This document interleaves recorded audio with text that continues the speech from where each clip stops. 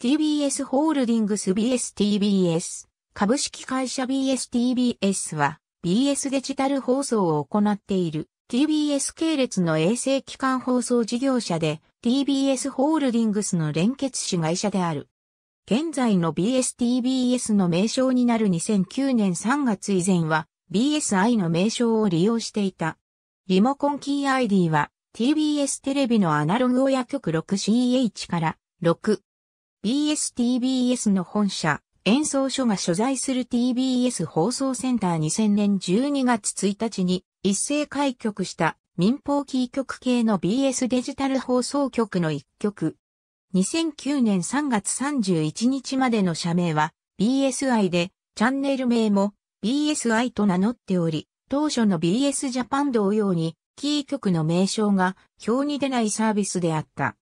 翌4月1日に筆頭株主の東京放送が認定放送持ち株、会社、東京放送ホールディングスに移行、称号を変更したことを機に、称号とチャンネル名を変更した。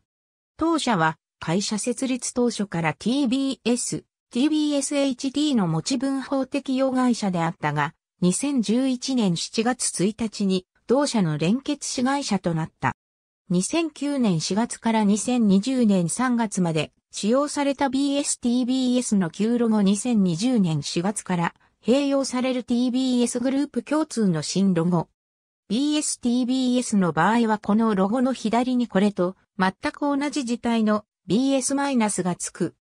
TBS ラジオ同様、兄弟会社の TBS テレビから派遣を受けているため、自社では雇用せずに TBS グループ3波で共通になっている。放送事業者名は BSTBS、テレビの各チャンネル名は BSTBS。TBS ラジオが制作を担当。2005年9月30日をもって終了した。企業、団体は当時の名称。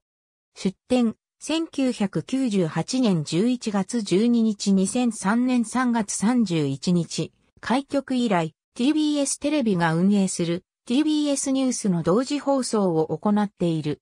かつては0時台、14時台、19時台にも放送していたが、後に朝のみに縮小されている。2K と 4K では放送日時が異なる。2009年9月18日までは画角情報が付加され、旧来の画面比4、3のテレビでは自動的にアップコンバートされていた。翌週9月21日からはハイビジョン放送となっている。また、報道特別番組を同時放送することもある。BSI としての開局から間もない2001年10月期にマホロマティックを放送して以降、長年にわたり深夜アニメを放送している。2006年10月期、2007年1月期のカノンまでは TBS テレビで放送しない独自の作品もあった。それ以降も過去に TBS テレビが制作した旧作の新作エピソードを特別番組として独占放送することがある。2012年4月期から2013年1月期までの一部の作品には本曲も制作協力として参加した。かつて BSI 時代には現在の BS11 のアニメ枠のような CM 明けのロゴアニメーションの表示が一部作品を除いて実施されていた。TBS 系列局の MBS が制作した深夜、アニメについては、2012年1月期の、陽子僕 SS よりネットを開始した。翌4月期より、制作局の MBS に準じて、アニメイズムの枠名称が導入された。2016年に1月期以降、本局の公式サイト内のアニメのページには、MBS 制作の作品は掲載されていない。なお、金曜深夜に JNN28 局ネットで放送されているスーパーアニメイズム枠は本局では非ネットとなる。